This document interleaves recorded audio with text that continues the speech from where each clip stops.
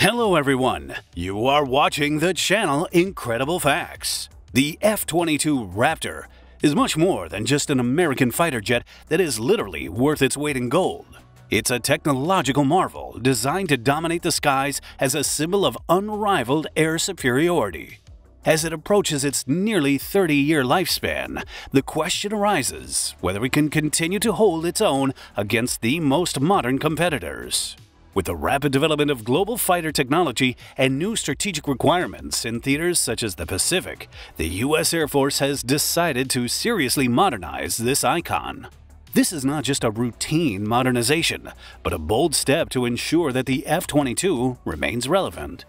But before we get started, if you enjoy this video and would like to see more just like it, remember to give us a like and subscribe to our channel to get more sent straight to your notifications. At the beginning of the Cold War in the 1980s, the U.S. Air Force needed a modern fighter jet capable of providing air superiority in the race for supremacy with its eastern enemy. With the Soviet Union churning out highly maneuverable fighters like the MiG-29 and the Su-27, it became important that the aircraft currently in development be sure to crush all others in combat. For all intents and purposes, an upgraded version from the existing F-15 Eagle was a formidably capable aircraft in its own right. Not to be left behind, the U.S. initiated in 1981 a program to be called the Advanced Tactical Fighter, with a vision of an aircraft that would have no equal in agility and at supersonic speed, stealth capable, and foremost in air dominance. There were two major competitors for this important order Lockheed Martin and Northrop. Each of these had differing designs, but following exhaustive comparison, the prototype from Lockheed Martin, the YF-22, won out against Northrop's YF-23. Though still more maneuverable, what you wanted for air superiority, the Lockheed design still maintained revolutionary stealth that would make the jet nearly invisible to radar. Added engines from Pratt & Whitney gave it Super Cruise. Just wait. Supersonic speed without the use of afterburners, which means significantly higher fuel efficiency, laid the concrete building blocks for what would become the F-22 Raptor. The official contract for the construction of the F-22 was won in 1991 by Lockheed Martin. Throughout the 1990s, refinements and advanced features of the aircraft were done in labor in turning it into a fully operational fighter jet. Advanced materials and coatings with reduced radar cross sections, sleek lines, and internal weapons bays combine to minimize detectable signatures. Indeed, these are the novelties that have given it unparalleled stealth capabilities to penetrate enemy airspace quite undetected. With such high angle, high rate of turn capability, and radical vertical maneuvers quite beyond the capacity of most fighter jets, high thrust engines and uniquely designed thrust vectoring nozzles enable this aircraft to be so fine in dogfighting. Finally, in 2005, the Raptor finally entered operational service as the frontline fighter for the U.S. Air Force. By that time, however, the geopolitical configuration had changed, and the Soviet Union, the reason for its creation, already had been dissolved along with most of its military threat. Nevertheless, F 22 capabilities were still proving quite vital, since this jet not only performed air superiority duties, but could also conduct ground attack and electronic warfare missions, thus offering strategic flexibility to the U.S. While the F-22 Raptor was designed very much with air superiority in mind, it often stands in comparison with three major jets, the multi-role F-35 Lightning II, the European Eurofighter Typhoon, and China's Chengdu J-20. Each of them reflects a somewhat different philosophy in design and mission, each with particular strengths and approaches to modern air-to-air combat. Wholly different from the Raptor, the F-35 Lightning II has emerged from a completely different philosophy, capable of conducting a wide range of missions under the multi-role design umbrella, including air-to-ground, reconnaissance, and electronic warfare. Advanced sensor fusion combined with an unparalleled network capability ensures the F-35's second to none capability in gathering and sharing data with other assets across the battle space. Because of this, it is very effective in terms of force multiplication, meaning that in combination with other forces, it enhances general situational awareness and targeting accuracy. In a straight-up comparison, agility to speed, the F-35 is inferior to the F-22. The Super Cruise capability of the Raptor, combined with thrust vectoring engines, allows it to be highly maneuverable and to fly at supersonic speeds without burning afterburners, engagement attributes deemed critical in dogfight and high-speed intercept missions. In stealth, the F-35 is nearly equal to the F-22. However, the latter retains somewhat better low observable qualities because of its airframe design and coatings, making it the more evasive choice over contested airspaces.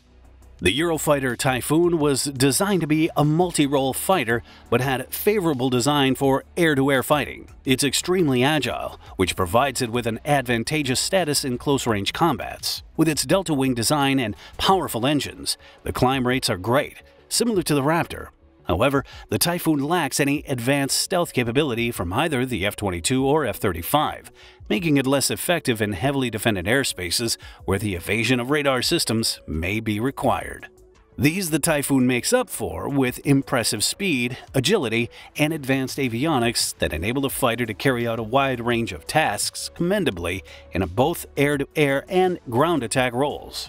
Although it has never been designed as a stealth fighter, excellent situational awareness by the Typhoon, versatility of weapons, and good adaptability make it an airplane in high demand within NATO air forces. The Typhoon is agile, but because of its larger radar signature against the stealth-capable engineered jets like the F-22 and F-35, comes directly at a disadvantage in an environment pitted against competitors for air superiority. The Chengdu J-20 is China's first fifth-generation stealth fighter tailor-made to counter adversaries in the Asia-Pacific region. By design, the J-20 places more emphasis on a long-range strike mission compared to the F-22, with a larger frame presumably for carrying more fuel for extended range and heavier weapons loads. The range advantage would fall in line with the defense strategy of the People's Republic of China to project operations into regional theaters without relying on extensive aerial refueling. While the J-20 is stealth, its predecessor outclasses it in agility because it's a much larger jet with a very different engine configuration. The smaller frame and more compact shape of the F-22 allow it, on top of thrust vectoring engines, for much tighter maneuverability, in other words, dogfighting capability. The J-20 is very advanced in stealth capability, but the comparison with the Raptor in terms of stealth profile is extremely hard because of the very limited availability of data with respect to Chinese stealth materials and RCS design. Coming close to 30 years in service, the United States Air Force has been pushing through wave after wave of upgrades to ensure that this iconic fighter stays at the top of its game, the F-22 Raptor. But with fresh competition from newer jets like the F-35, the Eurofighter Typhoon, and even China's J-20, recent upgrades made on the F-22 have been laser-focused on addressing the jet's shortcomings and improving its edge in modern air-to-air combat. The first important improvement concerns its range. Designed and used originally in Europe where ranges are shorter, the stamina of the F-22 is lacking in the Pacific Theater, where bases are much farther from each other. The Air Force is providing the F-22 with a Project Low Drag tank pylon to increase its reach with no loss in stealth or supersonic flight. This allows it to significantly build on that capability in covering larger distances across the Indo-Pacific, where strategic depth is key. Another massive step forward is the addition of the new infrared search and track system. That passive detection capability allows the F-22 to detect enemy aircraft via the heat generated by such an aircraft, hence providing it with an advantage to detect and engage stealthy adversaries like the J-20 without emitting radar energy. The addition of the F-22 to keep it hidden longer even while it is tracking other advanced jets reliant on stealth.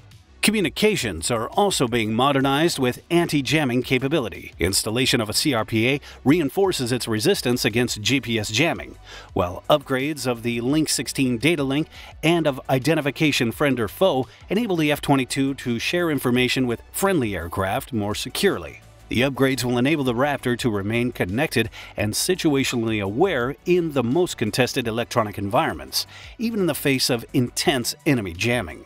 This is perhaps best demonstrated with the replacement of the AIM-120 AMRAAM with the AIM-260 Joint Advanced Tactical Missile. With increased range and a more advanced seeker, the AIM-260 extends the reach that the F-22 has in long-range engagements, where getting to the enemy first is king. Pitted against jets such as the J 20 equipped with long range missiles, this upgrade hands an edge to the Raptor in first look, first shot engagements. This will see some of the older F 22s retired, but the commitment by the Air Force to upgrade the remaining fleet indicates just how valuable the Raptor still is. Such upgrades aim at bridging the operational gap of the F 22 until NGAD, the next generation air dominance fighter, becomes a reality and ensures that it remains relevant in the U.S. air defense for many years to come. Though the Raptor's role is changing, it should, with these improvements, remain one of the most capable fighters in the world to confront a new threat and continue its legacy in U.S. air superiority. What are your thoughts on the F 22 Raptor? Let us know in the comments below. If you enjoyed this video, don't forget to give us a like and subscribe to our channel to get our latest videos sent straight to your notifications.